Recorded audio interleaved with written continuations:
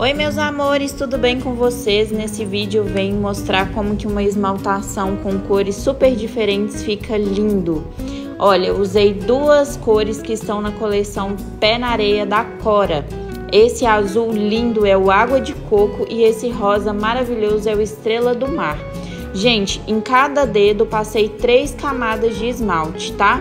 Sabendo passar a camada bem fina, bem leve, a esmaltação não fica grossa. Por último, finalizei com o top coat da Cora em todas as unhas, fica um efeito brilhante, uma cor mais linda ainda.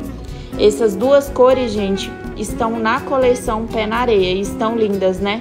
Super combina com o verão e uma prainha. Que, que vocês acharam? Me conta.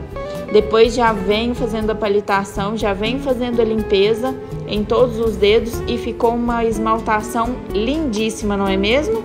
Me conta aqui se vocês usariam essas duas cores. Eu amei. E vocês?